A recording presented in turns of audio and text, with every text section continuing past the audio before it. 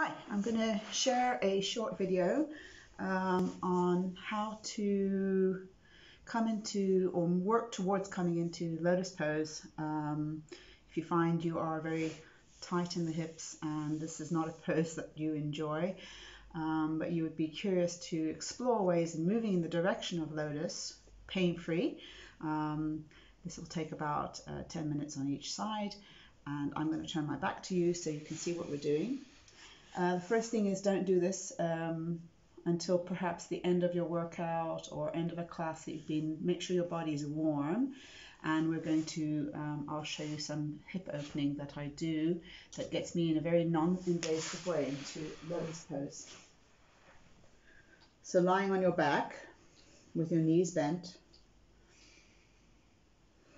And if your neck is very arched and your shoulders are coming off the floor, put a firm cushion or book under your head. And you're going to cross the right ankle over the left thigh. And you're just going to bring this left knee in. And be careful this right foot doesn't sickle inward. So you're keeping the ankle and big toe in line with the knee. And you're just going to rock a little bit forward and back, kicking this left knee gently into the chest. Easy breathing and a little side to side. Now you can either hold the back of the thigh, interlace the hands behind the thigh or the shin. If your shoulders are tensing up, rather hold the thigh. So you want the shoulders to drop into the floor and make little circles. So we're drawing circles with the left knee in space in a range that's easy to breathe and then change directions of the circles. So hopefully your your body's been warm, you've been working out and or in a yoga or Pilates class and you're not coming in from the cold to do this. And after this, you can just bring your arms out to the sides and drop that left foot down. And as this knee falls open, careful that your left hip doesn't hitch up to your left ribs. You want the space between the iliac crests of the hips and the ribs to be more or less equal. And you're just going to gently drop the knees to the left Use slight abdominal power to bring your knees back, navel to spine, left and right. Both shoulders remain on the floor. So if you want to roll your head the opposite way or the same way, you can play with that as well to check that the neck and the eyes and the jaw is soft. You may want to go slower than this.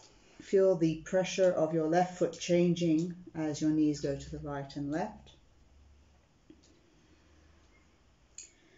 Take your time, you can go even half the speed.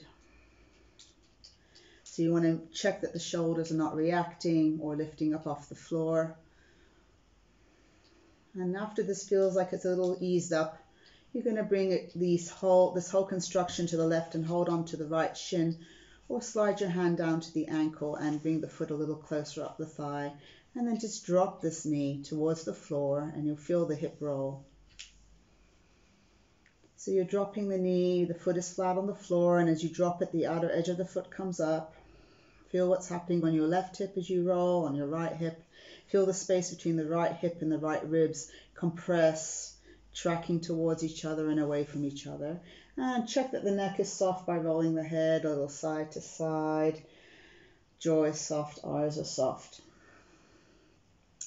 After a while, hopefully, you can find that this leg can stand with ease and you can even brush the fascia tissue from the hip crease out.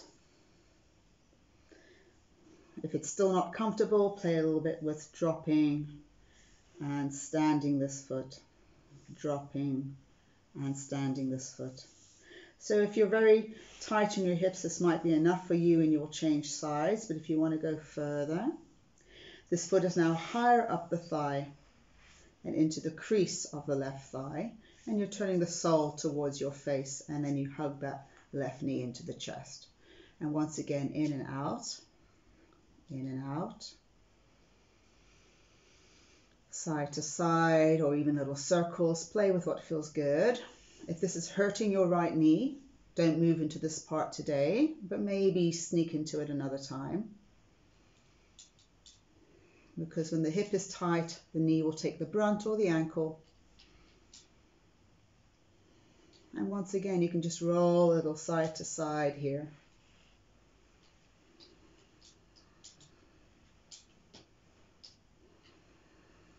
So we're differentiating the hips from the torso, differentiating the head from the torso and the hips.